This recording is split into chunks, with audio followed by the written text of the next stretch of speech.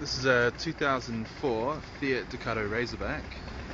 Now if you're wondering what the Razorback does, I'll give you a demonstration.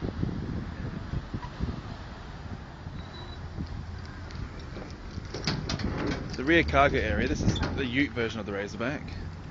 The rear cargo area will open this door.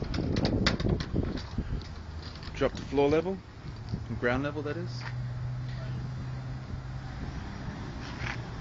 Push of a button, the whole floor will just drop.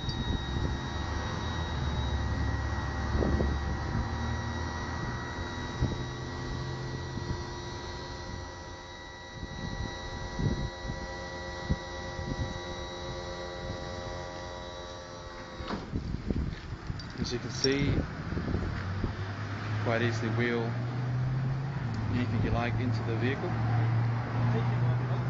It'll carry a load of about one ton.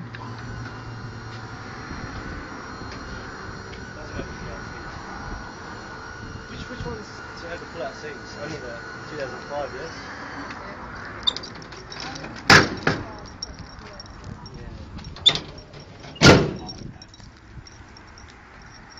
You're done.